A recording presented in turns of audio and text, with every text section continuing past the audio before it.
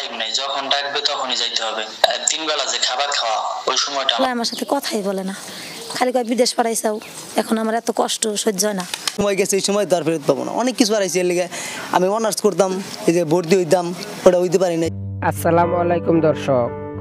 একটা মানুষ দৈনিক কয় ঘণ্টা কাজ করতে পারে? আট থেকে দশ ঘণ্টা বারো ঘণ্টা পর্যন্ত কাজ করতে পারে। যদি তাকে তিন বেলা খাবারের পাশাপাশি নাস্তা বা রেস্ট করার জন্য সুযোগ দেওয়া হয় দুই থেকে তিনবার। বিশ্রাম আর নাস্তা তো অনেক দূরের কথা। প্রতিদিন পনেরো থেকে বিশ ঘণ্টা কাজ করে কয় বেলা খাবার খায় সেই বিষয়টি যমুনা টিভির সাংবাদিকের কাছে দুঃখ প্রকাশ করে মুক্তি চাওয়া সেই সৌদি প্রবাসী আহাদের মুখ থেকেই শুনুন। নাই, যখন ডাকবে তখনই যাইতে হবে।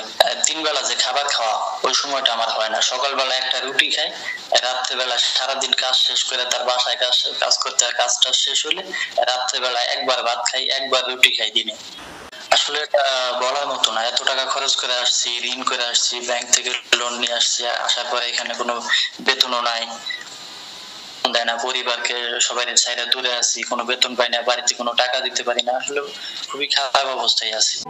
দর্শক, স্ক্রিনে যে ভদ্রলোককে দেখতে পাচ্ছেন, ওনার আসল পরিচয় উনি একজন দালাল।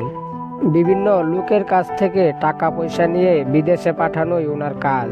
টাঙ্গাইলের আহাদ নামের একটি ছেলের কাছ থেকে পাঁচ লাখ টাকা নিয়ে তাকেও পাঠিয়েছিলেন সৌদি আরব।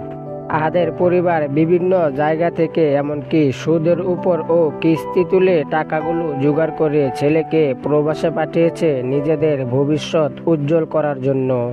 আহাদ মূলত ড্রাইভিং ভিসায় যাওয়ার পর ড্রাইভিং ছাড়াও বিভিন্ন ধরনের কাজ করানো হয় তাকে দিয়ে। টয়লেটও পরিষ্কার করানো হয় তাকে দিয়ে বলছিলেন আহাদের মা। বলে আমার সাথে কথাই বলে না।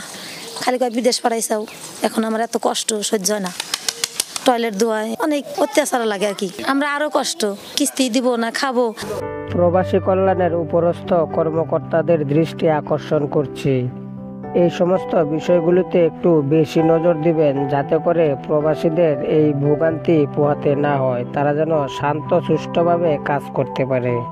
প্রবাসীদের এমন কঠিন পরিশ্রমের ফলে একদিন আমাদের দেশ অর্থনৈতিক দিক থেকে অনেক উপরে যাবে ইনশাল্লাহ দর্শক, ভিডিও সম্পর্কে আপনার মূল্যবান মতামত কমেন্ট বক্সে জানাতে ভুলবেন না। ধন্যবাদ।